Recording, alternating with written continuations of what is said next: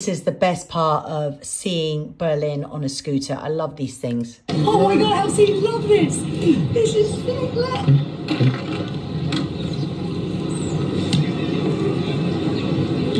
I literally spent the whole day in Berlin on these. So that was so much fun.